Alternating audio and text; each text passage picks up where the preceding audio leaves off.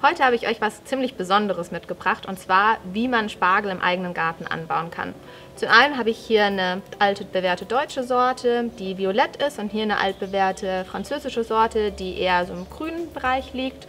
Und hier habe ich noch was ziemlich Besonderes mitgebracht aus Italien. Dort nennt man ihn Wildspargel, obwohl es eigentlich kein richtiger Spargel ist, sprich man kann keine Stangen ernten, sondern man kann praktisch dieses Kraut einfach in Pastagerichte mit einfügen und hat dann trotzdem einen sehr intensiven Spargelgeschmack.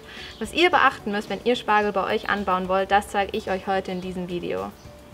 Hier seht ihr eine junge Spargelpflanze aus dem Fachhandel, die jetzt auf jeden Fall umgetopft werden muss. Dazu löse ich den Wurzelballen ganz vorsichtig und behutsam eben aus dem Topf. Und an der Farbe der Wurzeln kann man übrigens erkennen, ob die Pflanze gesund ist. Sind die Wurzeln weiß, dann ist alles in Ordnung. Und die Pflanze setze ich jetzt in einen neuen Topf mit frischem Substrat und fülle das eben bis oben hin auf. Und um den Spargel zu stabilisieren, bringe ich noch einen Stab an, der ihn stützen soll. Bis zur ersten Ernte dauert es meistens ein paar Jahre, aber bei guter Pflege und regelmäßigen Wassergaben könnt ihr euch dann lange an dem Königsgemüse erfreuen. Vielleicht hat jetzt der ein oder andere Lust bekommen, Spargel bei sich im eigenen Garten anzubauen.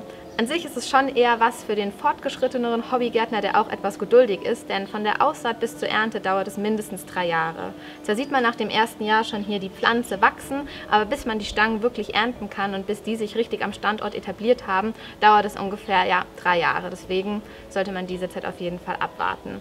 Falls richtige Spargelexperten hier unter uns sind, dann würde ich mich natürlich super freuen, wenn die ihr Wissen in den Kommentaren teilen würden. Ansonsten hoffe ich, hat euch das Video gefallen und wir sehen uns beim nächsten Mal.